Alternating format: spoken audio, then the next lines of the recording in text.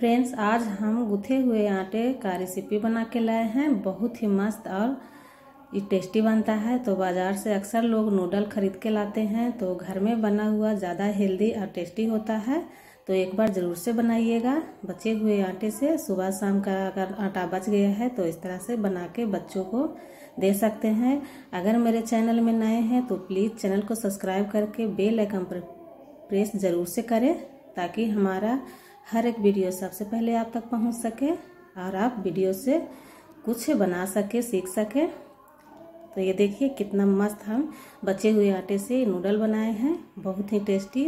Hello friends, स्वागत है मेरे इस चैनल में। तो चलिए बनाना शुरू करते हैं।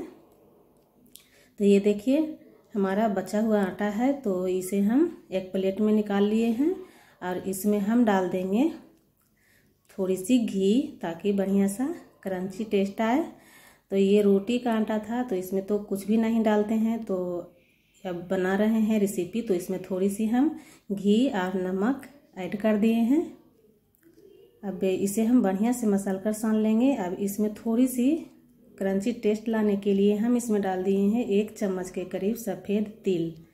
इससे बहुत अच्छा सोनी सी हमारे रेसिपी में टेस्ट आता है तो ये ज़रूर से डालिएगा। अब इसे बढ़िया से मसल कर हम मिला लिए हैं। अब इस तरह से राउंड करके हम इसे पहले सारे को इस तरह से पेड़े काट लेंगे। तो देखिए, ये हमारा चार पीसेस बनकर तैयार हुआ है। आप अपने हिसाब से छोटे, बड़े कर सकते हैं। तो हम बिल्कुल जो बड़े साइज़ का पूड़ियाँ रहता है, उस तरह से हम बेलकर तैयार कर लेंगे। ये देखिए, हमारा बन गए एक रोटी, हम बेल लिए हैं। तो इसी तरह से हम, देखिए, ज़्यादा मोटा नहीं है, ज़्यादा पतला भी नहीं है, इसे इस तरह से मीडियम हमें रखना है। अब इसे हम एक प्लेट में रख लेंगे। अब इसी तरह से हम दूसरा लोई को भी बनाकर तैयार कर लेंगे। बहुत ही आसानी से बनता है, लेकिन टेस्टी बहुत बनता है, बहुत टेस्ट लगता है। तो एक बार ट्राई बनता है, फ्रेंड्स। तो ये देखिए, दूसरा भी हम बना लिए हैं। अब इसी तरह से हमारे चारों रोटियाँ बनकर तैयार हो गया है। तो इधर हम पानी चढ़ाए हुए हैं। पानी बहुत ही बढ़िया से गर्म हुआ है। तो अब इसमें हम क्या करेंगे? एक एक करके सारे रोटियों के हम डाल देंगे। देखिए, इसी तरह से हमें सारे रोटी इसमें डालना है। एक एक करके। ये बिल्कुल भी चिपकता नहीं है। बहुत ही बढ़िया से जब उबलने लगता है तो पूरे रोटी ऊपर आ जाता है। तो देखिए ये बहुत ही बढ़िया से हमारा उबाल आने लगा है। करीब करीब हमें पाँच से छः मिनट तक इसे उबालना है। ये बहुत ही बढ़िया से हमारा हो जाता है। तो ये देखिए, एक उलट लेते हैं। तो नहीं भी उलटिएगा तो भी चलेगा, क्योंकि ये पानी में पूरा डूबा हुआ है। तो ये बढ़िया से सिज जाता है। अब देखिए, ये उबाल आ गया है तो ये हमारा रोटी बढ़िया से पक गया है तो इसे थोड़ी देर के लिए ऐसे ही चलाकर ज़्यादा नहीं चलाना है, वरना ये टूट सकता है।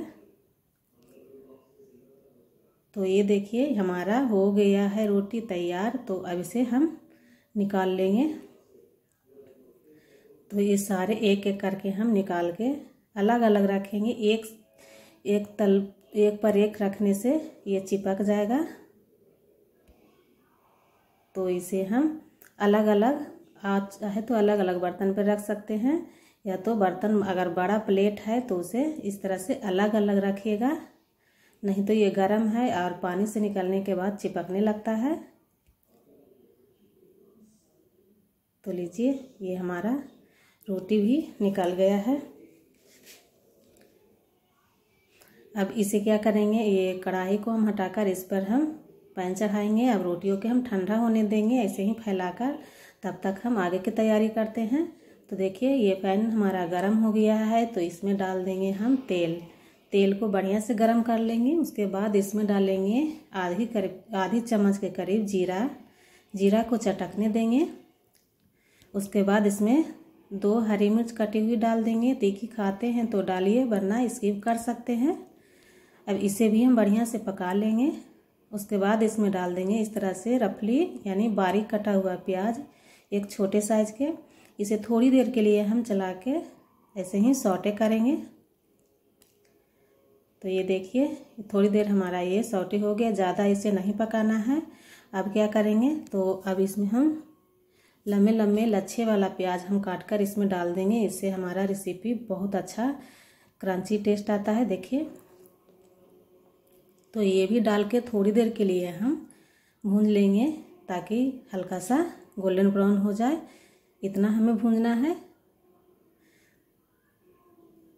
तो ये देखिए, हमारा ये भून गया है। तो अब ये देखिए, एक बड़े साइज़ का हमने आलू लिए हैं, उसे छील कर और बारीक बारीक से हम काट लिए हैं। अगर चाहे तो डालिए। ये बिल्कुल ऑप्शनल है। ये इसका टेस्ट बहुत अच्छा है और बच्चों के आलू बहुत पसंद आता है तो इसलिए आलू हम डाल दिए हैं। कोई ज़रूरी नहीं है, आप चाहे तो डालिए या स्किप कर सकते हैं। थोड़ी सी एक बारीक कटा हुआ गाजर ले लिए हैं, वो भी डाल दिए हैं। जैसे कि आप मैगी या नूडल में सब्ज़ियाँ का इस्तेमाल करते हैं, इसी तरह से इसमें भी हम इस्तेमाल करेंगे। दो से तीन बीन्स आए उसे भी काट कर डाल दिए हैं। अब सारे को बढ़िया से हम भून लेंगे लो टू मीडियम फ्लेम पर। ताकि आलू जो हमारा है ना बढ़िया